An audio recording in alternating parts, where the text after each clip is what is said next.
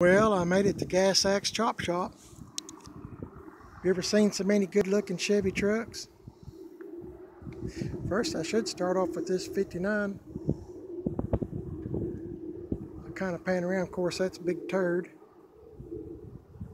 And I made it over here just fine. Didn't give a lick of problems. That's the furthest I've drove it, probably drove it 20 miles, I guess, 15, 20, somewhere in that neighborhood. Ran perfect.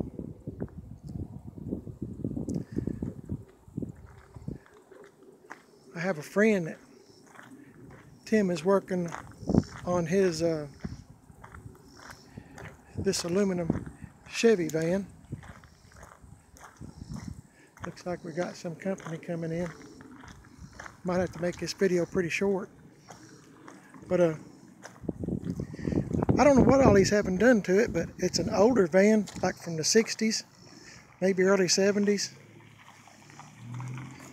Of course, it's a Chevrolet.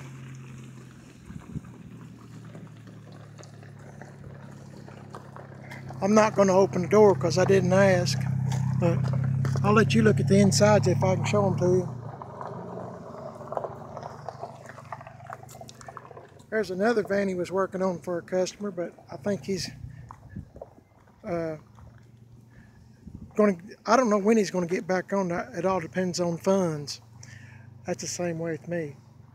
You don't see these too much either. Jeep Wagoneers. Those are really popular now. They used to be a dime a dozen, but you don't see them much anymore. Uh, I hear that they're quite valuable.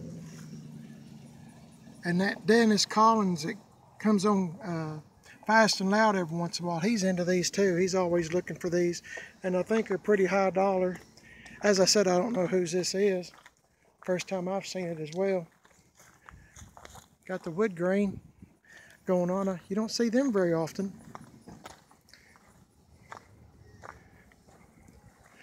Pretty cool vehicle. I don't know why it's here or what's getting done to it, but pretty straight old vehicle.